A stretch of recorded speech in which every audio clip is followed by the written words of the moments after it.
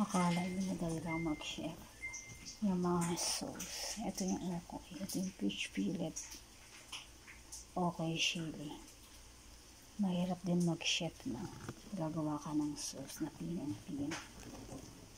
Kailangan magaling kang mag-chef.